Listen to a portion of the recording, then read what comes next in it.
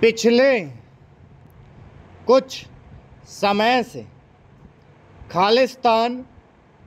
समर्थक तत्वों की और जैसे हालात पैदा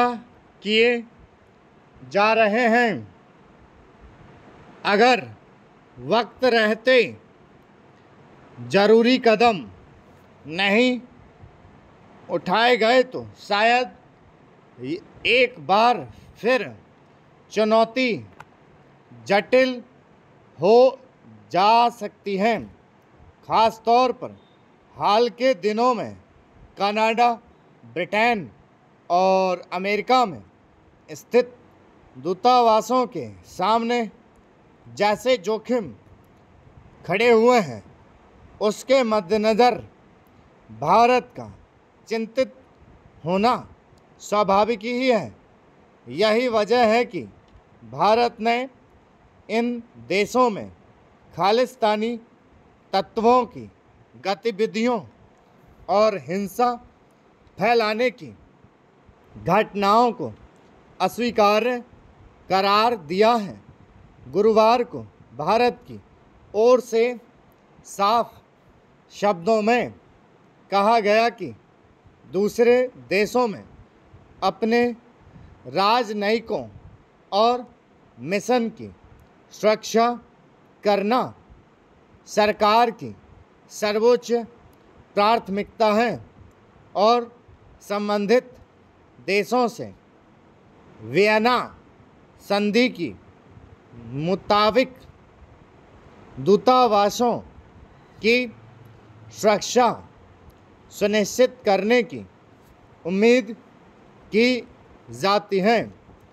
हालाँकि भारत को यह चिंता जताने की ज़रूरत पड़ी,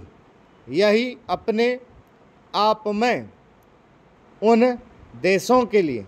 विचार का मसला होना चाहिए कि नियमों के अनुरूप हर स्तर पर सुरक्षा का भरोसा दिलाने के बावजूद वहाँ भारतीय दूतावासों के सामने जोखिम के हालात कैसे पैदा हुए? गौरतलब है कि वियना संधि के मुताबिक कूटनीतिक संबंधों के मामले में कई ऐसे नियम हैं जिनके तहत दूतावासों की इमारतों और उनमें काम करने वाले लोगों को मेजबान देशों की ओर से सुरक्षा मुहैया कराई जाती है। इससे जुड़े नियमों की बाध्यता यहाँ तक है कि अगर दो देशों के बीच किसी मसले पर बेहद तनाव की स्थिति भी हो, तब भी कोई देश संबंधित देश के उच्च आयोग या वहाँ नियुक्त राजनयिकों और अन्य कर्मचारियों की सुरक्षा का बंदोबस्त करता है। हैरानी की बात यह है कि जिस दौर में भारत और अमेरिका के संबंधों में नए आयाम देखे जा रहे हैं। उसके बीच भी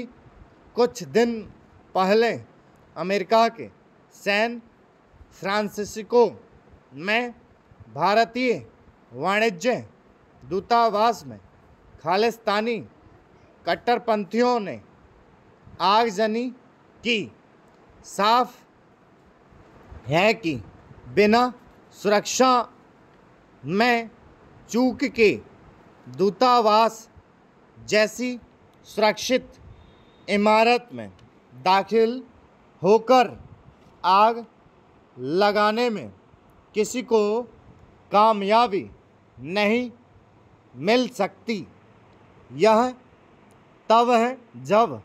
अमेरिका में आतंकवादी हमलों की आशंका से लेकर